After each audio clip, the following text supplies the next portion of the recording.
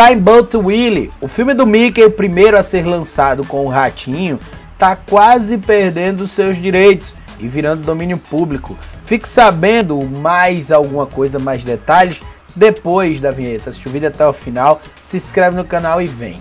Só vem! Somente. E aí, pessoas não pessoas, coisas não coisas, geeks e não geeks, nerds e não nerds. Tô meio estranho, é porque eu tô meio inchado, não sei se deu para perceber. Tô meio inchado, né?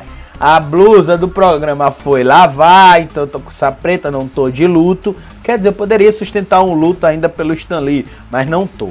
Mas a Disney tá preocupada, porque Steamboat Willie, que é o primeiro filme do ratinho Mickey lançado para o público, foi lançado, cara, tem noção, 18 de novembro de 1928, ele tá quase, quase perdendo seus direitos e virando de domínio público. Que é isso? Qualquer pessoa pode usar sem precisar pagar nada ao Walt Disney.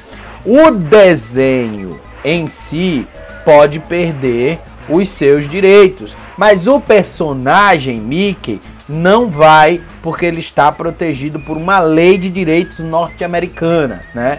Se fosse aqui no Brasil, a gente ia ter problemas porque eles iam ter que procurar uma forma de reassegurar que o desenho é do Disney, mas lá não, as leis são meio diferentes. Já estava procurando saber para fazer um paralelo aqui, não que eu quisesse pegar o Mickey para mim, tá? Mas como é que eles iam proceder? Porque a partir de 95 anos nos Estados Unidos, a obra vira de direito público, de domínio público. E o Mickey está fazendo 90 anos. Steamboat Willie também, né? Não foi o primeiro filme a, a, mostrar o Mickey, mas foi o primeiro lançado. Ele é o terceiro em que o Mickey aparece, mas é o primeiro a ser lançado para o grande público.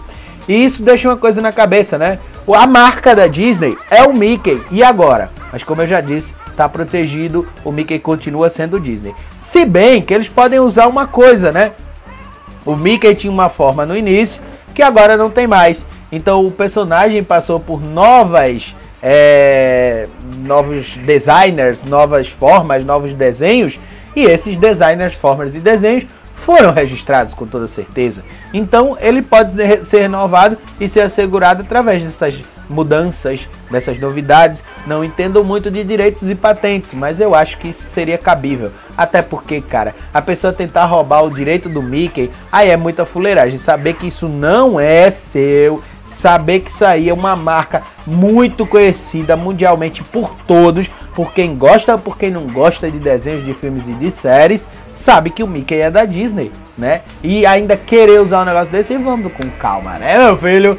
Vamos com calma, mas é isso. Era só isso que eu queria contar para vocês. Steambuck Willie tá quase virando domínio público, mas o Mickey não!